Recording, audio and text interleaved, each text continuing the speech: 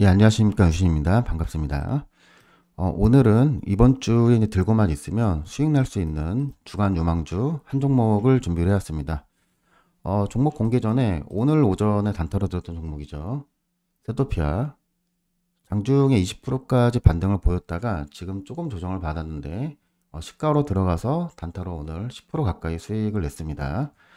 제가 지난주에도 말씀을 드렸었는데 2차 전지 관련주 중에서 그 네오디움이나 바나둠 이런 히토르 관련주들은 단기로 보셔도 된다고 말씀을 드렸었죠. 단타 같은 경우는 지금 오전 8시 30분에서 한 종목 정도 매일 드리고 있고 종가 매매 하시는 분들은 12시에서 1시 한 종목 이렇게 두 종목 단기 종목 계속 드리고 있습니다.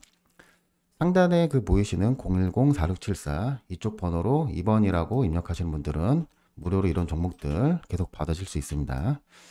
자, 돌아와서 오늘 주간 유망주 제가 하나 말씀드릴 텐데 어, 종목은 인선 ENT입니다. 코드 번호 060150입니다. 인선 ENT 같은 경우는 그 건설 폐기물이나 그 자동차 파쇄 그 재활용 사업 이런 부분을 영위하는 회사죠. 최근에 IS 동서에서 그 자회사 지배 구조를 개편을 하면서 이 부분이 계속 부각이 되고 있는데 어, 실제로 작년이죠, 작년. 작년에 그 매출이 2,300억 이상 기록을 했고 영업이익도 300억 이상 기록을 하면서 어, 자회사 중에 최대 실적을 지금 기록을 했습니다. 특히 이 인선 ENT 같은 경우 자회사 인선 모터스죠. 인선 모터스가 이제 폐배터리 그 원료 수급망 사업을 영위를 하면서 이제 그쪽 부분에서도 매출이 지속적으로 지금 증가할 걸로 예상이 됩니다. 폐배터리 사업은 좀 자료를 좀 보고 말씀드릴 텐데 지금 폐배터리 리사이클 시장 자체가 2030년까지 뭐 엄청 가파르게 지금 성장이 예상되어 있죠. 그리고 리튬 가격이 계속 지속적으로 증가를 하고 있기 때문에 이 폐배터리 재활용 사업이 성장을 할 수밖에 없습니다.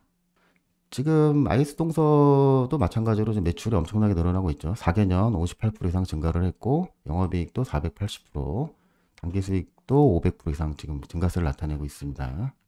어, 이 폐배터리 리사이클 같은 경우는 좀 세 그 단계로 나눌 수가 있는데 이 인선 ENT, 인선 모터스죠. 이게 원재료 확보를 진행을 1단계로 진행을 하죠. 그 다음에 이제 BM 솔루션에서 그 전처리, 그 원료인 그 black powder나 black mass 이 생산한 전처리 단계를 거쳐서 이 후처리를 이제 이번 연도에 이제 인수를 했던 TMC 회사죠. TMC에서 그 복합체를 양산을 마지막으로 이렇게 총 3단계로 진행을 하게 됩니다. 그 아이에스동서 같은 경우는 이 원재료, 전처리, 후처리 3단계 지금 리사이클링 value chain을 다 확보를 한 상태죠. 그 중에서 인선 ENT 쪽에서 가장 매출이 많이 나오고 있기 때문에 이쪽 부분을 잘 참고해서 좀 보시면 좋을 것 같습니다. 지금 차트를 보셔도 지금 하단에서 지금 거래가 되고 있는데 지금 거래량 자체가 지금 많이 들어오고 있지 않아서 지금 뭐 밑에서 모아가기 좋은 시점이다. 이렇게 조금 말씀을 좀 드릴 수가 있고 자, 여러분이 지금 주식으로 수익을 보고 있지 못하다면 지금 생각해 보셔야 하는 부분이 주식은 첫 매매가 진짜 중요하거든요. 그래서 이 1차 매수를 잘했느냐, 못했느냐에 따라서 손절을 할 때도 머뭇거림이 생겨요. 저는 주식을 무겁게 시작하는 건 좋아하지 않습니다. 주식은 가볍게 해야 되는데 여러분이 이, 이 1차 매매를 할 때 뭐 몇 천씩 들어가신 분들이 있는데 이런 분들은 한번 손절을 하게 되면은 다음 종목을 매수할 때도 쉽게 들어갈 수가 없거든요. 차라리 이제 한 종목을 여러 번 나눠서 들어가면 좋은데 주식시장 자체는 주도업종이 계속 변경이 되잖아요. 그래서 이, 이 1차 매매를 좀 가볍게 비중을 늘려 가시라고 말씀을 드리고 싶고 이 부분만 잘 체크를 하셔도 손실을 어마어마하게 줄여 나갈 수가 있습니다.